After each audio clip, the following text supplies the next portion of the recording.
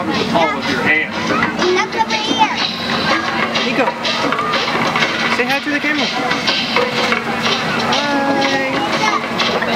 We're riding on the train at the Cincinnati Zoo. I don't I see Neiko is two and a half years old.